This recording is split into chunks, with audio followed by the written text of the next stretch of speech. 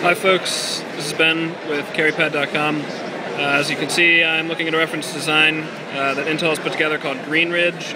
And uh, it's weird to see Intel and Android together, but that is happening now, as you've seen earlier at the keynote. Uh, so this is the Z670. This is Oak Trail, which uh, is a platform that we've already actually seen Windows devices running on.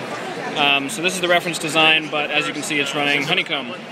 So this is actually x86 architecture. Um, I was told that this is very early level of optimization for Honeycomb, uh, basically a pre-alpha or alpha level. So there's very little hardware acceleration happening here. Um, but I mean, the, the core experience exists. This is Honeycomb, just like you would experience it on a on ARM architecture, uh, but with the added benefit that because this is x86, you'll be able to toggle conceivably to any other x86 operating system, like Windows. Um, I mean, so here it is running. It's obviously quite sluggish. Actually, that's oddly very snappy, very responsive in this little widget, and yet when I go from page to page, it's not so good. So they've obviously got uh, quite a ways to go.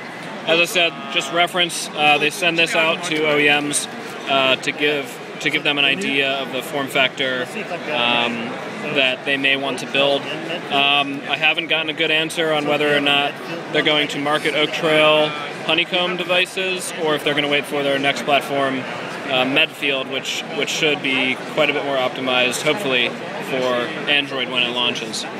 So that is the Green Ridge reference design.